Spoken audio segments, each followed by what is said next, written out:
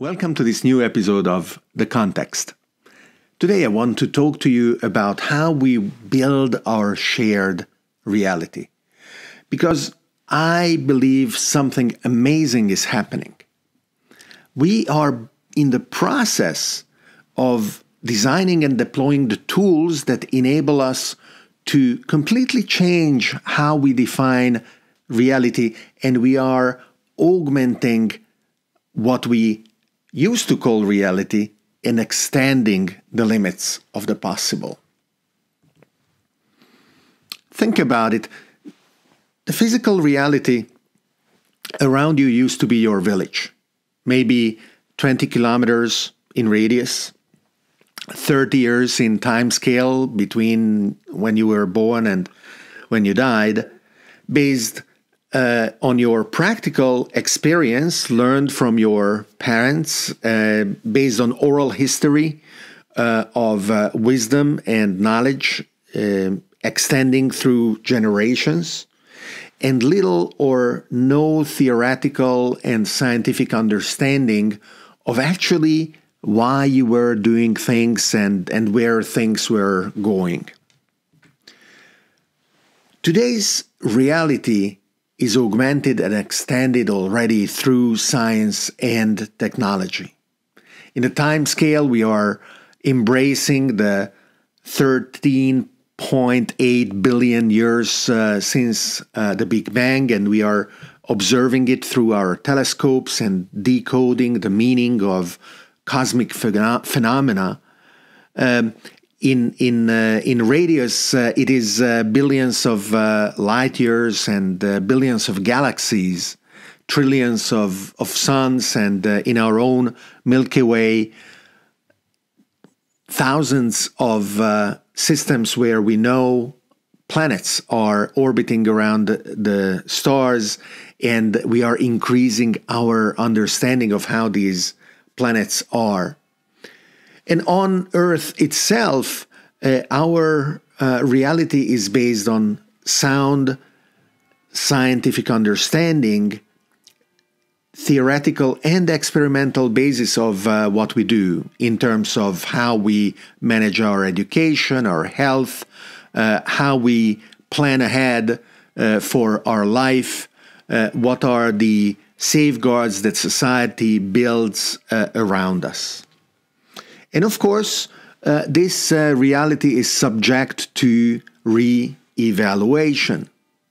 Uh, in terms of how the world uh, is, we, um, for uh, little more than a hundred years ago, until that time, um, didn't know there existed objects outside of our galaxy, that the universe was so big uh, as what we understand it to be today. And for sure, uh, as we try and explore the implications of uh, the many worlds interpretation of quantum mechanics, uh, where we would be talking about uh, the multiverse, or as we uh, may start to hypothesize that um, fluctuations in the quantum foam uh, yield big bangs expanding into new universes, uh, uh, which uh, would bring us to an understanding of what could be called the megaverse. But also, we are building new fundamental components of our reality in the digital domain. And this is, of course, the metaverse. And when we are talking about digital worlds, our online activities, I am very keen not calling them virtual. These are on par with our physical reality. Their importance, their implications, the way that they influence the world is not inferior. It is not uh, in a in a way different from how the physical reality influences the world uh, and what the implications of, of physical uh, reality are. So, an increasing share of our lives is uh, digital, and an increasing share of what matters in the world around us is based on the understanding that the digital world, the metaverse, uh, is supporting our ability to design, implement, and live lives that fulfill the ambitions of the 21st century. This comes from very simple, apparently, but in reality very complex components of the digital domain as supply chains that make sure that our supermarkets are filled with food or that uh, the economic transactions uh, and the financial systems uh, are chugging along with the rhythms and the reliability that that are needed. The digital domain defines uh, our health when more and more diagnostic systems display an image that is either directly interpreted by an artificial uh, intelligence based diagnostic system which supplies the diagnosis to a medical professional confirming it, or at least, very often these days, even if the diagnosis is unaided, the doctor making the specialist making the uh, the the reading of the digital uh, image is non-local.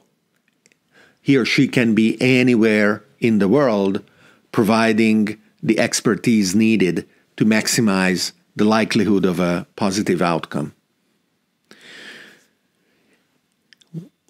Now, with uh, solar energy and the necessarily more advanced integration of renewable energy sources, this part of our lives is becoming digital as well. How energy is produced and consumed and shifted uh, and shuttled across um, smart grids uh, in order to be uh, deployed where it is needed at the most efficient uh, and uh, convenient way possible couldn't happen without sophisticated digital systems. I often make uh, a list of uh, these components across what uh, in the vision of network society we call the eight pillars energy, manufacturing, food, health, learning, finance, security, and policymaking. And without going through each of these, because we would need too much time, and I like to keep uh, the episodes of the context a little more compact, it could be possible to bring up very clear examples of how the digital domain, the metaverse, makes possible each of these pillars to be designed, implemented, and delivered to the levels of performance that we expect. So, as our lives are digital, our reality is digital.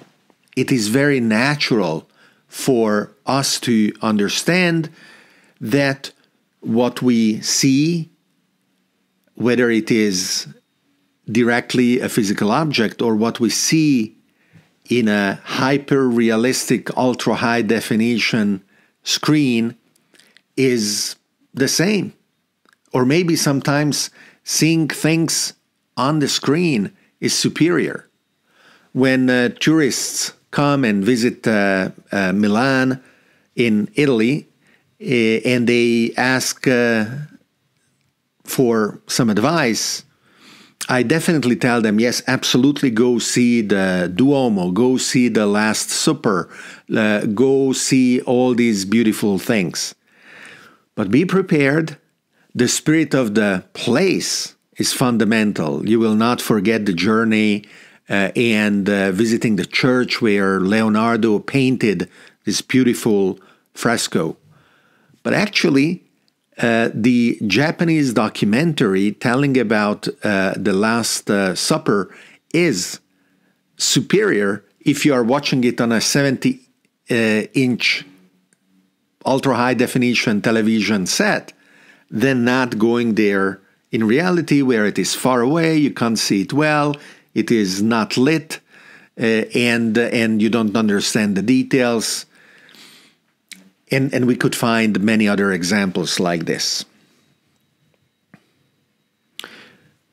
There is one fundamental difference between the physical reality and the digital reality of the metaverse. In the first, we have very little influence in defining that reality. And changing it is hard work. It takes a lot of time. Physical infrastructure building is important, as the Chinese um, high speed trains uh, are showing us. And it will be hard to match their passion and their dedication in building this fundamentally important transportation infrastructure. But when we go into the digital domain, changing our reality is much easier. What does that mean? It means that what information we share, what information we perceive, and what is the consensus that, that emerges from that information sharing and, and that perception will change our understanding of the digital reality. Necessarily, we live in a filter bubble. Even if we complain about it because we understand that our perception is incomplete. But just as it is necessarily incomplete in the physical world, even though the possibility of a broader and deeper perception is there in the digital world, that doesn't mean that it is a good thing, that it would be a good thing. The simplest example of how the filter bubble exists is in Facebook's choice of what particular posts from your contacts to show you as you scroll through the wall of your uh, various uh, pieces of information on your phone or on the browser. This means that you don't see all of the posts of all of your contacts or all the page updates of pages that you have liked in the past, let alone people that Facebook might suggest to you or pages that may be something that you would want to like. It would be impossible to see them all.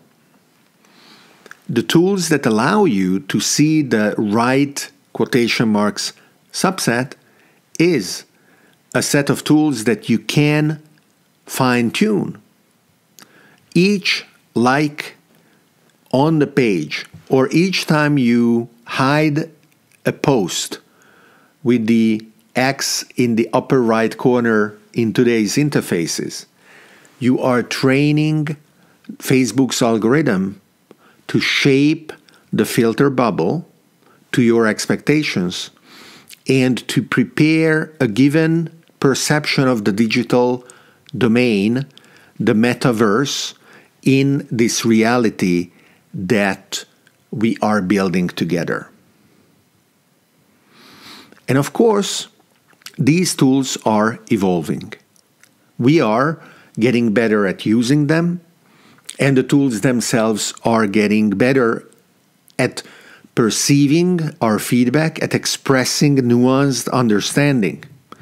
Once again, to use a simple example, if in the past the only feedback available with a simple gesture on Facebook was the like, today many of you started using what has been introduced some time ago of a different set of options, not simply like, but also being surprised, uh, uh, being uh, passionately in, in love with the post, being angry, being sad. It can be fully expected that in the future, nuanced feedback is going to enable each of us to update and shape and better share a nuanced understanding of this digital reality with each other. The way we manipulate the parameters of the digital world, augmented and enhanced by the tools that we have available, is what gives rise to fake news. These tools are very powerful and they are used to influence our perception of the shared reality. And they are a great opportunity, a stimulation to develop a healthy skepticism as we go ahead and perceive reality through digital tools. Double checking the source, the motivation, the consistency of a message, understanding whether we have become inadvertently uh, subjected and and made into a robot spreading what is a modern version of a chain letter. Every time you find a message that says XYZ, doesn't matter, make sure you let everybody know. This should trigger your reflex to check whether the message itself matters or it is just a very infective idea that wants to be spread. However, we have some very good safeguards. Philip K. Dick used to say, Reality is that which, when you stop believing in it, doesn't go away. And this is very advantageous. When we connect the digital realm with the physical one, that is when the reality check allows us to see if through manipulation because of filter bubbles being distorted in the perception of the digital reality, we have strayed too far. So, the more frequent these connections between the digital domain and the physical reality are, the better. I can guarantee that the exploration of how we build and come to a consensus around a shared digital reality has just become. A very recent news is the development of what can be called digital telepathy, direct brain to brain communications between two humans. And if this today is a very basic experiment, within the course of a few years, it is going to become ubiquitous, powerful, taken for granted by people growing up with a native ability to handle those tools. So, our introspection and our awareness must continue to be honed to take advantage of those tools, to keep building and pushing the boundaries of what is possible with healthy skepticism, but also enthusiasm towards the progress that we are making and building incredibly uplifting and powerful new realities. So thank you for watching this episode of The Context. Thank you for supporting it on Patreon and allowing me to produce new episodes together with my team. See you next week.